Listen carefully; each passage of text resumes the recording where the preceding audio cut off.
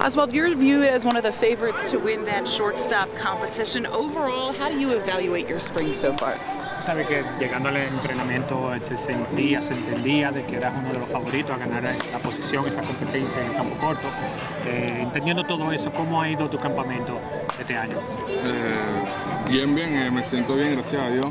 Este, trabajando en lo que son los detalles para ¿sabes? ajustar cada cosa que tengo que hacer en el terreno y nada, enfocado, enfocado en mi trabajo y al final del día, que es lo que quiero lograr, es mi meta, ser, el shortstop de los, los Yankees y ¿sabes? estamos trabajando para eso.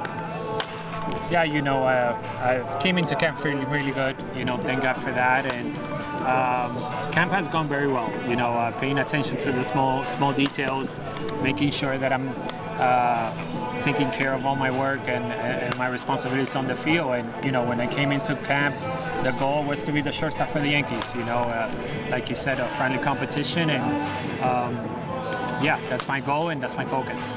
Why are you confident that you could achieve that goal? Eh, ¿Qué te da la confianza de que tienes la oportunidad de, de, de poder obtener esa meta y ser el campo corto del equipo? Nada, sabes, está, el, está la oportunidad. Eh, estamos enfocados en eso, ¿sabes? Al final del día es, en un juego me estoy divirtiendo y salgo a dar lo mejor de mí todos los días para que eso, para que eso pase. Y nada, ¿sabes? Yo controlo mis detalles y ya el equipo se encargará quién será el shortstop al final del día, pero yo estoy dando todo, todo, todo lo mejor de mí. I mean, from the get-go, you understood that you know uh, there was an opportunity in front of you. You know, so uh, whenever you have a chance like that, you want to take care of, of, of you want to take care of business. You know, and you want to do your job. You want to do your job on the field. You want to do your job off the field and put yourself in the best position possible. You know, those are the things that I control. You know, as a player.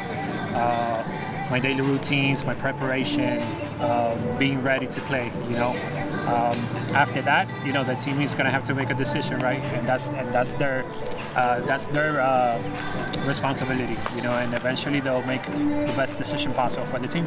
We saw you in the big leagues last year. What did you learn from your time last year in the majors? Esa experiencia en Grandes Ligas, ¿verdad? ¿Qué aprendiste de esa experiencia en Grandes Ligas? Oh, increíble, mi primera vez en Grandes Ligas, ¿sabes? Desde niño soñé con que llegara ese momento y ya cuando estaba ahí la oportunidad, disfrutando todo mi juego con mis compañeros y aprendí mucho. Tengo muchos compañeros que, que me enseñaron, este, ya que tienen o sea, un, largo, un largo tiempo en Grandes Ligas y de verdad que agradecido con, con, con mi equipo porque me apoyó siempre el primer día y wow, que quiero repetir eso, eso de nuevo. Uh, I mean, wow. Uh, ever since I was a kid, you know, that was that was the dream, you know, to be playing shortstop in the big leagues, especially for the Yankees, you know.